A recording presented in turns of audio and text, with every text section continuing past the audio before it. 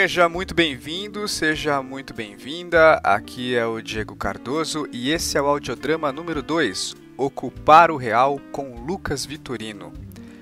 Para quem não sabe, o Lucas é diretor e dramaturgo do grupo Pandora de Teatro lá de Perus e nesse episódio a gente conversou sobre dramaturgia, sobre o processo do Lucas, mas também sobre o trabalho que o grupo de Pandora realiza lá em Perus numa ocupação que eles têm lá, a ocupação artística Canhoba. É um trabalho bem bacana e para você que não conhece, eu espero que o episódio seja aí uma porta de entrada para você conhecer o trabalho deles. Antes de começar, eu só queria dar alguns breves recadinhos. Primeiro, agradecer muitíssimo quem ouviu o primeiro episódio, o audiodrama número 1 com a Ângela Ribeiro e que ajudou a divulgar, a compartilhar, a, que ajudou a chamar a atenção para o episódio aí nas redes sociais. É, teve uma audiência bastante expressiva, para considerando que era um primeiro episódio, sem ampla divulgação, de um podcast novo e ainda mais sobre dramaturgia. Então, muito obrigado a você que ouviu, a você que está chegando agora e a você que ouviu e voltou e pretende ouvir os próximos. É, obrigado também pelos comentários. O audiodrama segue aberto a todo tipo de comentário, a sugestão, a crítica. É, teve muita gente que achou que o audiodrama seria um podcast de audiodramas mesmo, com peças sendo lidas, com atores e, e atrizes e bem editadas. E, mas não é, mas não é ainda. Não vou mentir que isso está no projeto do audiodrama em algum momento como eu estou pensando em fazer em esquema de temporada, quem sabe por uma segunda ou uma terceira contar com isso no formato também, mas isso é uma coisa para o futuro, porque para agora é inviável, porque como sou só eu gravando e fazendo pauta e editando, não não tenho condições de conseguir fazer um audiodrama de qualidade como eu acho que deve ser um projeto desses em formato de podcast. Inclusive, o podcast é, é lançado a cada duas semanas por esse motivo também. Eu gostaria que fosse semanal, mas enfim, eu tenho preciso trabalhar e viver e fazer outras coisas e eu não daria conta de lançar um programa toda semana. Mas faz parte do projeto para o futuro também que seja semanal. Outro recado é eu quero reforçar o pedido para você que está ouvindo, que está chegando agora, de seguir o podcast nas plataformas. O audiodrama já está no Spotify e nos aplicativos de podcast de iPhone e Android. Então, no Spotify é só clicar lá em seguir. Nos aplicativos é só assinar o canal do Audiodrama e você vai receber sempre que sair um novo episódio automaticamente no seu feed e caso você esqueça ou perca, não tem problema, você vai estar garantido e vai ter o audiodrama aí sempre para você ouvir. E também para continuar divulgando, se você puder, quem puder aí fazer dar esse apoio, essa força, isso é bem importante para ajudar o podcast a melhorar a cada semana. Outra coisa, um, um recado também importante é que o audiodrama agora tem uma página no Facebook. Eu particularmente não curto muito esse negócio de página, de ter que ir lá pedir para um monte de gente curtir, mas eu acho que isso vai facilitar o, o serviço aqui. É, assim a coisa não fica restrita só à minha pessoa, todo mundo pode ir lá e procurar por Audiodrama Podcast Dramaturgia e assim sempre que sair alguma coisa nova, vai saber lá por meio da página que tem um episódio novo ou alguma informação nova. E por fim, reforçando uma coisa que já vai ser falada nesse episódio e reforçada, mas eu gostaria de reforçar aqui nessa introdução também, é que o grupo Pandora está em temporada, uma temporada de repertório lá no Galpão do Folias, apresentando uma peça do repertório deles por semana. E agora vai acontecer a última peça desse, desse repertório, dessa temporada. Esse podcast está sendo lançado no dia 26 de abril de 2019. E esse é o último fim de semana deles no Galpão do Folias. Hoje, sexta-feira, e amanhã, sábado, dia 27 de abril, eles apresentam a peça comum que a gente fala um pouco dela aqui nesse episódio, e, e depois eles encerram essa temporada. Então, para você que está ouvindo na data do lançamento, se puder, vá lá prestigiá-los. E se você está ouvindo depois, espero que você tenha conseguido ver alguma coisa que você possa buscar conhecer o trabalho deles melhor. Ufa, agora sim, recados dados, conversa no ponto, a gente pode começar e eu falo com vocês de novo daqui a duas semanas. Fiquem agora aí com a minha conversa com o Lucas Vitorino. Até mais.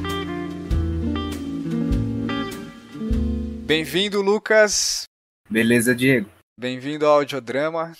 Agradeço o convite aí, valeu mesmo. É um prazer estar aqui conversando com você nessa nova plataforma aí para a gente falar de teatro, de dramaturgia e tal. Espalhar a palavra do teatro e do podcast pelas Bora. redes. É um prazer receber o Lucas, ele vai falar um pouco dele e como eu peço sempre aqui, Lucas, vou pedir para você começar se apresentando aí para quem não te conhece e para quem já te conhece também. É, eu sou o Lucas, Lucas Vitorino, eu sou diretor do Grupo Pandora de Teatro, sou morador do bairro de Perus. É, o nosso coletivo está comemorando 15 anos de trajetória e, e a gente está apresentando é, espetáculos, né? a gente cria espetáculos, ministra oficinas e recebe vários grupos aqui é, no nosso espaço que se chama Ocupação Artística Canhoba.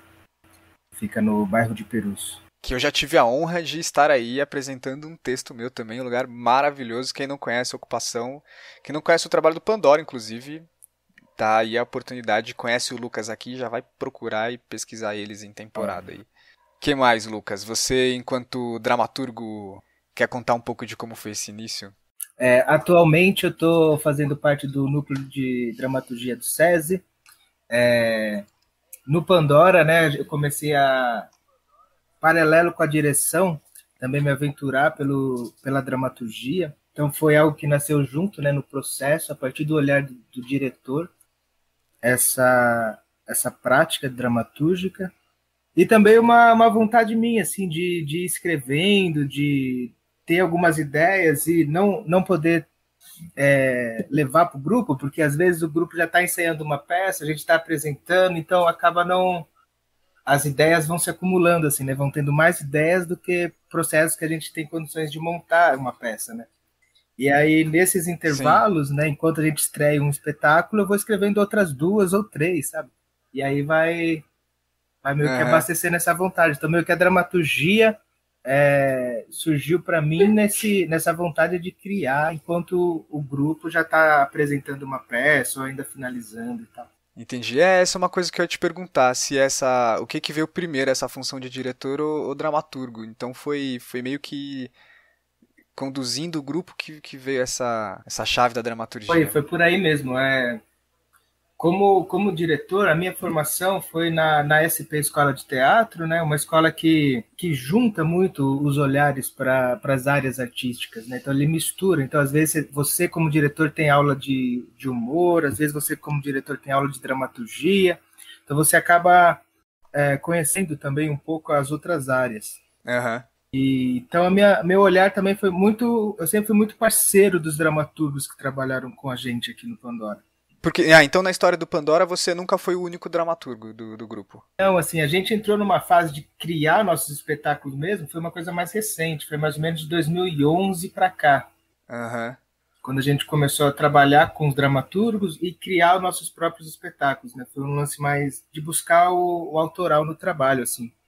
É, relacionado a, a uma pesquisa de ah, de reminiscência assim, do, do, teatro do absurdo, vestígios do teatro do absurdo, realismo fantástico, e também histórias sobre o, o, nosso território aqui, histórias que relacionem a memória, a história, a partir do, do bairro de Perus. Então a gente começou a criar espetáculos a partir de uhum. fatos que marcaram a, a, a, história do bairro. Entendi. E aí teve essa oportunidade de você ser, ocupar esse lugar de dramaturgo também. Que eu me pergunto, Aliás, eu te, te faço essa pergunta também, se teve, teve muito da conveniência também de, de você ser o dramaturgo do grupo do qual você é diretor, porque a gente vê muito, é muito comum um integrante do grupo escrever os próprios textos, geralmente o diretor, né, também assume essa função de dramaturgo, é, para ter material para o grupo trabalhar e também para que, que sirva para aquele número de pessoas, para aquele tipo de pesquisa. Então, foi, foi meio na conveniência assim de você poder atender a demanda que o grupo pedia? Mais ou menos. É, eu demorei um pouco para mostrar minhas dramaturgias para o grupo, assim. Eu guardava mais do que mostrava, assim. Eu escrevia mais para mim, assim. Uhum. E aí, aos poucos, eu fui mostrando, aí o pessoal foi se interessando, até que a gente montou uma dramaturgia, depois montamos outra, e aí isso foi foi se tornando um processo mais comum também. Eu fui também aprendendo a lidar nesse olhar de como encenador e propor material para o texto surgir, como a gente vai como um grupo entrosado, assim, uhum. já ou colocando o ator numa função que ele se dá bem, ou até desafiando a partir de uma de uma linguagem diferente para ele se experimentar num, numa posição nova, assim. É, então foi partindo daí. Entendi. Agora que você mencionou um pouco dos seus textos, é, eu sempre peço para quem participa aqui enviar uma seleção de textos próprios que ache que, que represente mais ou menos um recorte né, do próprio processo. Você me enviou aqui Sim. o comum, o autoestrada para Damasco, o jardim vertical e o depósito permanente de materiais inertes. E foi uma seleção muito bacana assim para eu ler. Eu já tinha assistido Comum, né? Então eu já conhecia e o primeiro e foi o primeiro contato também, eu acho. Acho que foi o primeiro contato que eu tive com o espetáculo de vocês, do Pandora.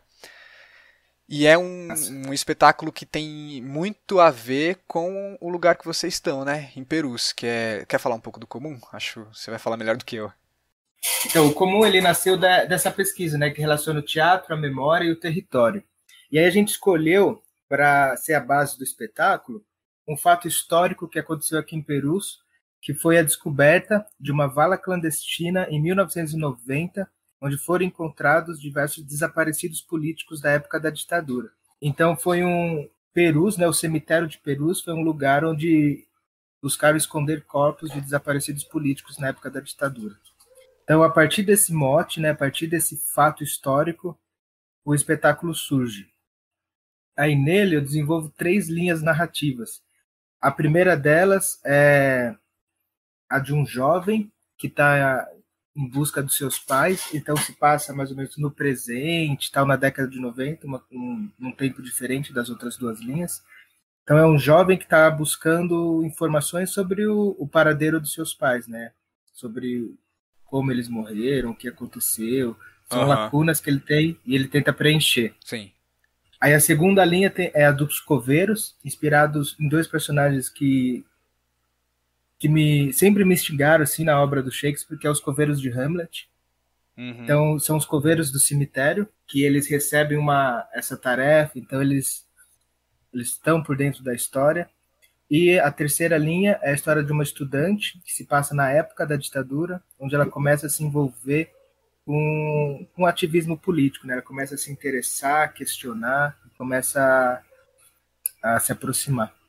É, então, aí eu te pedi para falar um pouco do comum, para exemplificar para quem está ouvindo, para entender é, mais ou menos qual foi a minha visão, assim, né, quando me deparei com o comum, porque é um texto muito sofisticado em termos de forma, né, essa fragmentação temporal, essa mistura de planos narrativos, é, inclusive de quase de gênero também, porque o, os coveiros têm essa pegada mais humorística, um outro plano tem uma pegada mais documental, e inclusive a encenação também é muito elaborada. É... Só que quando eu li as suas outras dramaturgias, elas apresentam uma variedade ainda maior, porque não é porque você, enquanto diretor do Pandora, e estando nessa ocupação em Perus, é, escreve textos todos na mesma pegada, digo, todos relacionados. Eu sinto que você se influencia por essa realidade, mas, por exemplo, é o Autoestrada para Damasco ou o Jardim Vertical, você vai por um caminho de um absurdo, esse realismo fantástico que você mencionou, que amplia muito o, o campo da sua dramaturgia, né? Sim, é, eu sou, eu gosto muito dessa praia, assim, que é esses vestígios do teatro do absurdo na dramaturgia contemporânea, assim. É, acho que é o que me fascina, assim, na, na escrita e tal. Então eu, eu busco esse caminho aí. O repertório do grupo, em certa medida, pelo menos o mais recente, é também o seu repertório de dramaturgia. A sua dramaturgia meio que se confunde com, com essa jornada mais recente do grupo, né? É, eu acho que não só minha dramaturgia, acho que minha trajetória no teatro, assim. Porque o Grupo Pandora ele é um grupo formado a partir do, do projeto Teatro Vocacional. Uhum. É, e assim, e a gente se conheceu ao mesmo tempo que começou a fazer teatro. Então a primeira coisa que a gente fez no teatro foi formar um grupo. A gente começou fazendo teatro formando um grupo assim e, e vendo o que, que era preciso para o teatro acontecer. Aí a partir daí os integrantes foram se profissionalizando, um se um querendo aprender mais algum aspecto né, da criação teatral, eu, nesse primeiro momento, é, eu me profissionalizei como ator, mas depois eu busquei mais conhecimento na área de direção. E aí cada um foi meio que para um lado, assim, vendo o que o grupo precisava e do que seria legal você, a, a fim de contribuir, a, a, partir da sua, da sua vontade artística dentro do teatro, né? Se, se, vamos dizer assim, se aprofundar, né? Sim. E aí, a partir disso, o grupo surgiu. É bacana você contar isso, porque o que eu estou querendo é, transmitir aqui é essa variedade da sua dramaturgia. É... Porque num primeiro momento eu pensei, olha, ele não tem só. Ele tem esse texto super militante, super a ver com a realidade lá de Perus, onde eles estão, mas ele também tem esse texto aqui, no caso Autoestrado para Damasco, que é um monólogo de uma moça que é. Eu não sei se é certo dizer que ela é caixa, né, de um pedágio. Ela trabalha. É, ela é tipo um atendente, atendente né? no atendente, pedágio é. e chega um urso com quem ela quer jantar e parece que ela já tem uma relação prévia e aí caminha por essa absurdidade. E aí, numa, num primeiro momento, lendo esses textos, me causou a impressão de que você tentava contemplar várias áreas diferentes, mas depois eu li uma, um texto do Zé Cetra e que ele, numa, numa passagem muito breve, ele falava que todos os, tudo que a, a, companhia tem no currículo eram títulos significativos e condizentes com a realidade de Perus e do país. E aí eu falei, não, é isso. O, o Lucas está falando sempre da mesma coisa. É, ele está sempre tocando em assuntos que tem a ver com a, com a realidade em geral. Ele, quando ele está querendo falar do real, ele não precisa falar só de Perus. Ele pode estar tá falando do, de tudo, né? Da humanidade em si, do Brasil, sei lá. É, existem sim os casos em que você foi pontual de tocar no, no, no, no fato de você ser de Perus. Em outros casos, você está falando da, da gente, mas com tratamentos diferentes. É, eu queria ouvir como é que você enxerga essa sua variedade. O que que você define que você persegue? Qual que é o seu objeto quando você escreve? É, essa pergunta é difícil, né? Porque eu acho que não é uma, uma, algo que eu conseguiria responder tão claramente assim mas eu tento olhar o que eu acho importante falar no determinado momento, sabe? Eu acho que é importante falar com com o momento presente, assim. Acho que eu tento falar com as coisas que eu vejo acontecendo e como eu poderia fazer algo para para dialogar ou para amplificar, talvez, não sei, ou modificar um ponto de vista sobre algo que eu enxergo à minha volta, assim. Então você sempre parte primeiro de uma, de uma história ou de algo, que, algo externo que você viu e daí você bola uma narrativa? Como é que é esse seu processo? Aí também depende. É, por exemplo, no comum, é, essa história a gente queria falar sobre ela há muito tempo já. Quando a gente começou com essa pesquisa de relacionar o teatro com as histórias aqui do bairro de Perus, a, a gente viu a potência que é a gente criar um espetáculo é, com a história dos moradores e do bairro aqui, porque além de ser também a nossa história, a história do, do público aqui nosso, né, do nosso entorno. Uhum. Então, quando os moradores de Perus vão para uma peça e se deparam com a história do bairro, seja a, a vala comum, que eles sabem que está aqui do lado, ou como é um outro espetáculo, Relicário de Concreto, que fala sobre a greve na fábrica de cimento aqui de Perus, uhum. greve dos queixadas, eles, eles também se defrontam com a realidade deles. Então é como se, no momento de comunhão através do teatro, nós olhássemos nossas próprias histórias. E isso muda o olhar do espectador com o teatro, ou seja, a gente sentiu uma outra relação quando o público vinha assistir essas peças. Então a gente viu uma, uma potência muito interessante, muito desafiadora, tanto para nós do grupo, quanto para um, um, processo criativo. Assim. Então, daí a gente foi elencando histórias do bairro que poderiam um dia virar uma peça. E a, a história da Vala Comum já estava nessa, nessa vontade. assim. E aí, quando eu comecei a, a, escrever o Comum, o grupo já, já toparia fazer a ideia, sabe? Já era uma uhum. coisa que a gente sabia que queria. Sim. E aí a, a, aí a dramaturgia foi rolando, né? Porque a gente aí eu parto de um lance que é como essa, essas histórias dos desaparecidos políticos ainda eles, eles não foram, né? Não foi solucionada. Tem histórias que nós não conhecemos. E isso, de alguma forma, me deu uma espécie de liberdade de, de friccionar a ficção com a realidade de uma forma é, muito forte e interessante, assim. Porque, por exemplo, a personagem Beatriz Portinari e Carlos Menezes, tem gente que pensa que foi uma história real. Uhum. Na verdade, ele é a parte ficcional da peça. Mas poderia ser, porque a gente não conhece ainda a história ah, a gente não sabe, sim, sim. É como se a ficção, né, o teatro, a dramaturgia, entrasse numa lacuna que é, que é a lacuna da realidade, né? É a lacuna que, é, que a crueldade da ditadura deixou, esse buraco. E aí, a, aí o teatro entra. Sim. E num texto, nesse, nos seus outros textos, por exemplo, é, não tão calcados num acontecimento real, é, quando, nesses textos que você diz, por exemplo, que surgem entre um processo e outro, em paralelo a um, teatro, a um processo que já está acontecendo, de, de, onde é que vem? Como que é o processo de, de escrita disso? É, às vezes é de uma imagem que eu persigo, de alguma ideia que, de repente, veio uma ideia tão forte que eu falo, nossa, eu tenho que escrever isso, porque senão ninguém vai escrever, acho que é uma ideia boa. E aí eu, eu, guardo né, essa ideia e algum dia vem uma outra ideia e se junta com ela. Às vezes é uma ideia completamente diferente, mas aí cria, vamos dizer assim, cria uma composição mais interessante que dá vontade de escrever. Por exemplo, no Autostrada para Damasco, teve um dia realmente que eu passei no, no pedágio na noite de Réveillon. Sim. E eu fiquei guardando. Isso foi um ano antes de eu escrever a peça. Eu, essa é fácil de falar a data porque foi bem no, no Réveillon. Uhum. Everett foi um, um, ano antes, e eu fiquei guardado com isso. Falei, nossa, que situação é, enigmática, interessante. Tipo, uma pessoa que fica numa estrada na noite de Réveillon, tá todo mundo comemorando, e ela ali, né, na, na, na função. E aí eu guardei essa, essa imagem.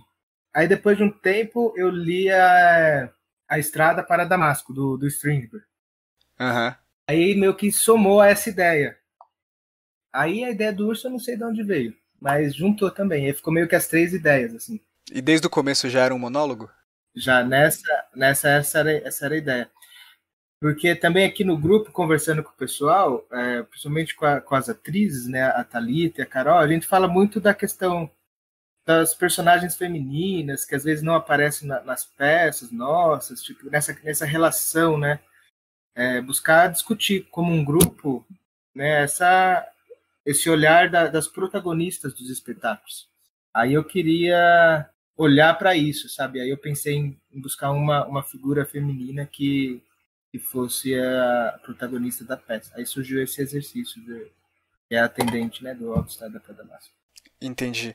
Os outros textos é, que você me enviou, o Jardim Vertical e o Depósito Permanente de Materiais Inertes, lembram muito uma pegada de Matei Wisnek. Inclusive no título aqui do depósito tem, tem muito a ver. É, é uma referência real para os seus processos? Sim, o... inclusive assim, depois que eu li o Matevis, né, que aí eu comecei a escrever mais, assim, parece que ler a obra dele meio que despertou essa vontade de escrever, ou uma espécie de o teatro pode ser tudo que a gente quiser, sabe? Não sei, eu acho que essa estética, assim, essa, esse tipo de olhar para a dramaturgia, um pouco fora da lógica do real, podendo misturar elementos, sabe, criando diálogos nonsenses, buscando várias imagens do seu imaginário, eu acho que ela, ela meio que abriu uma, uma porta para o meu processo criativo na dramaturgia. E aí, assim, eu fui fascinado pela dramaturgia dele, assim. A primeira peça que eu li dele não me absorveu tanto qual foi, você lembra? Lembro. Eu estava pesquisando teatro russo, aí eu li uma peça que fala do A Máquina Chekhov. Sim. Que ela, ela traz, assim, o Chekhov em si, né, como um personagem, e vários, vários outros personagens de outras peças dele. Então tem... Seria peças, personagens em momentos que não estão na dramaturgia do Chekhov, mas eles, eles se encontram, né? Então Sim. tem tipo Traplove no outro momento, depois que acabou a gaivota, sabe? Uhum.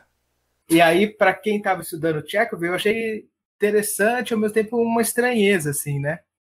E aí isso me deixou instigado, mas ainda não me fascinou. Aí depois eu fui descobrindo as outras peças dele.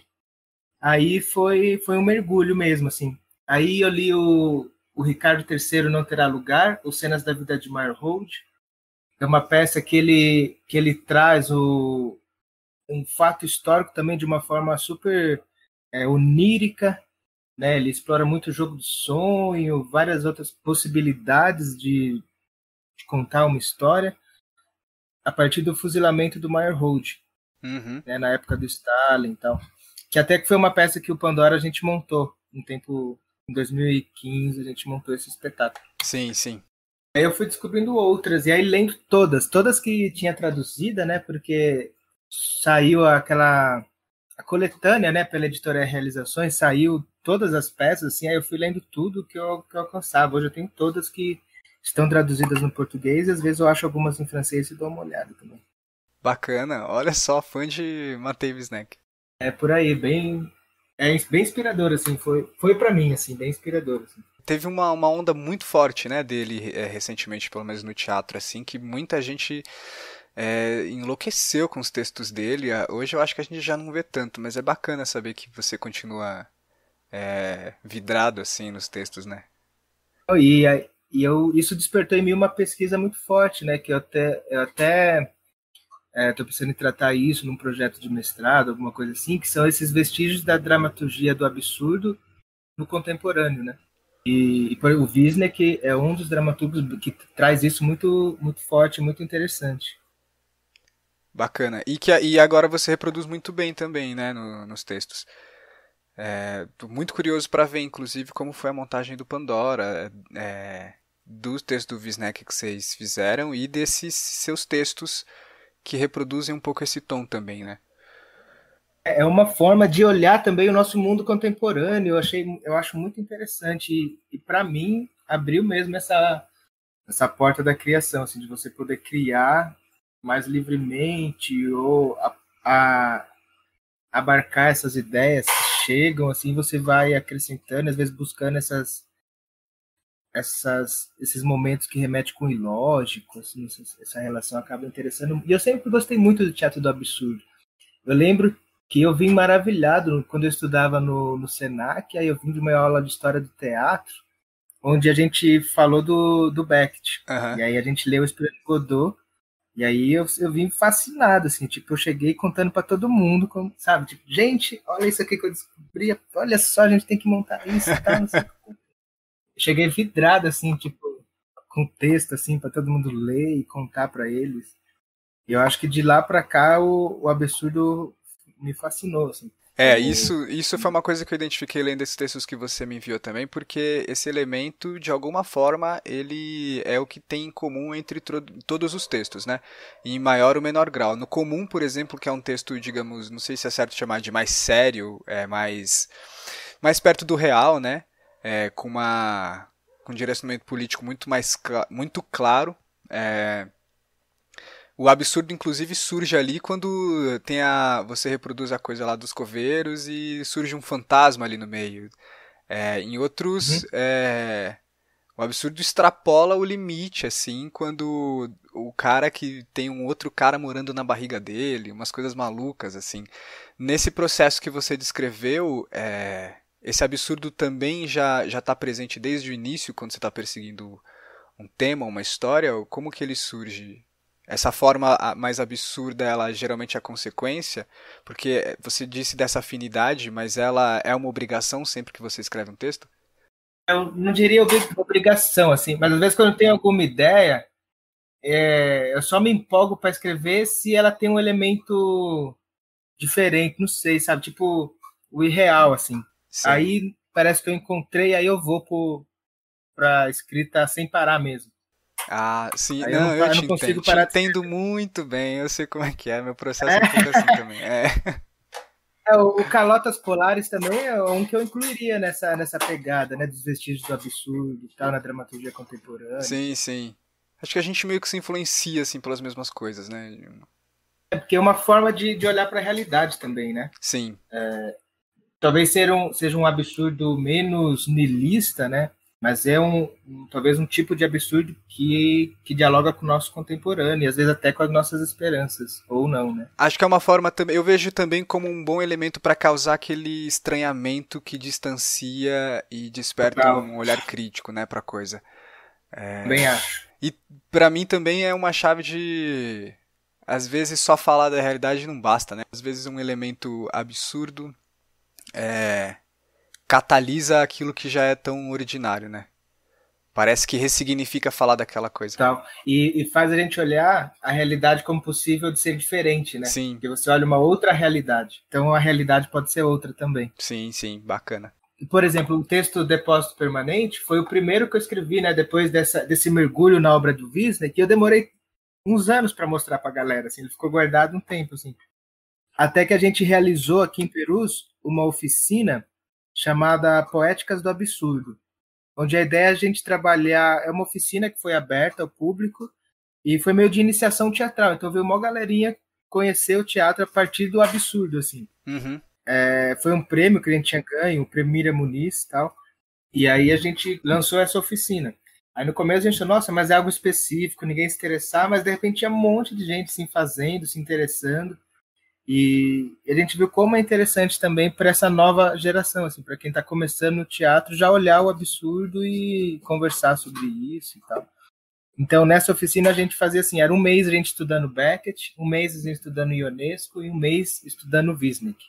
E aí, depois, mais três meses, criando um experimento cênico a partir do que, influenciados por aquilo que a gente leu, assim. Então, foi uma oficina que rolou e foi, foi uma experiência muito legal aqui em Perus, assim, e a gente está querendo continuar, assim, os próximos passos do grupo, assim, é, mergulhar de novo nessa pesquisa. Bacana. Legal você falar dessas ações da, aí na ocupação, porque a gente já está quase acabando. E a última pergunta que eu queria te fazer tem a ver com esse, esses lugares que você ocupa, né? A dramaturgo, diretor e também dentro desse grupo que lidera essa ocupação, que, que faz a ocupação aí em Perus, né? É, que é um lugar de muita responsabilidade também, mas um lugar de um privilégio muito grande. E digo de um privilégio de uma maneira boa, porque é, conversando com outros dramaturgos e dramaturgas, a gente vê que é muito, muito, muito comum se ter um processo de escrita muito ativo e sofrer com a falta de condições para ver o seu texto acontecer, para você ver a sua pesquisa acontecer na prática.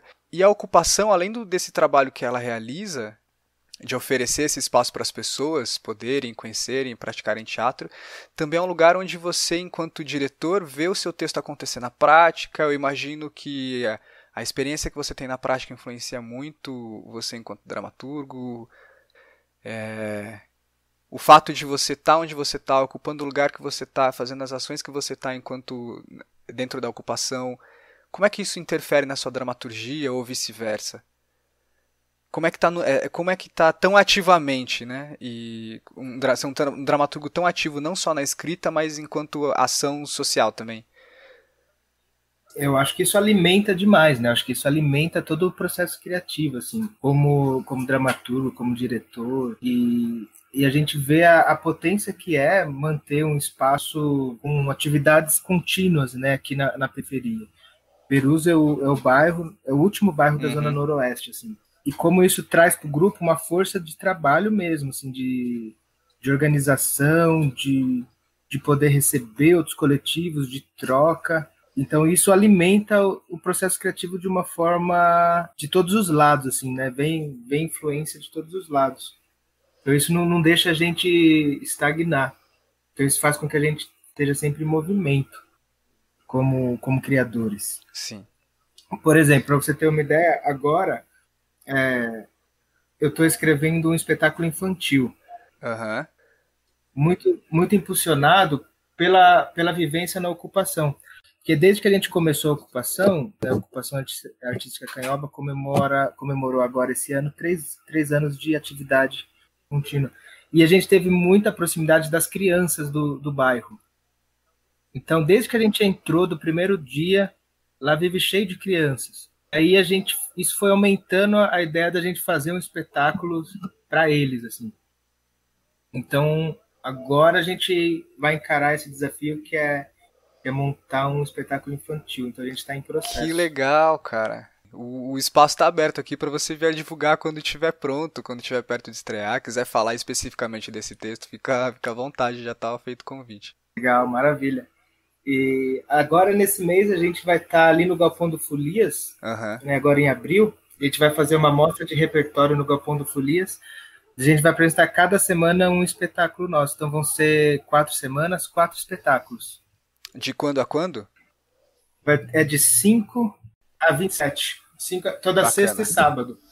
Então é cada, cada dia uma peça. Então vai ter o comum, vai ter o Nomes para Furacões, vai ter o do Wisnik, o Ricardo III.